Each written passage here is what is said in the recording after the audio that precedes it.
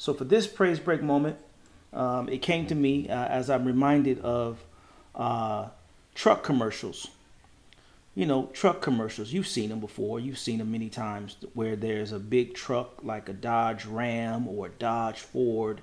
You know, I don't own a, a big truck, but I thought about getting one because it makes hauling a little bit easier when you, uh, you know, when you got things to pick up and, and things. But I'm always enamored by those big truck commercials because they always showcase uh, in those commercials the power of the truck, right? The truck is always pulling something. It's always pulling a big boat or an RV, and they're always pulling it up some kind of hillside or something to show the power of the truck. Taking the big boat and just going up a hill with it, um, or, or a camper shows the power of the truck.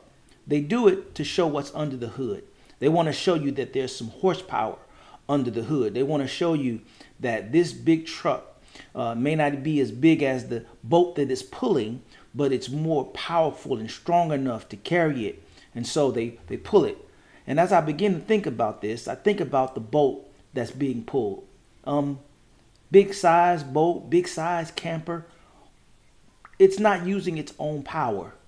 All it has to do is go for a ride. Yeah, yeah, it doesn't have to do anything. It doesn't have to it doesn't have to turn it on. It doesn't have to be on. It's at the disposal of the truck's power. All it has to do is enjoy the ride. And maybe this praise break is for somebody, maybe even for myself, worrying about the future. You know, sometimes we spend a lot of time worrying about the future. But do we know the power that's under our Father's hood? Do we know the power that He has to be able to carry us?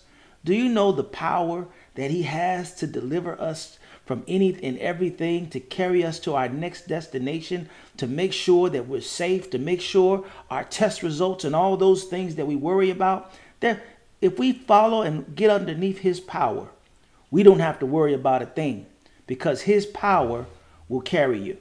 Yeah, His power will carry you. His power will keep you. His power will deliver you. His power will move you. All you got to do is enjoy the ride. We don't have to do it under our own strength. We don't have to do it under our own might. God has enough under the, the hoods of heaven to pull us to where we need to be.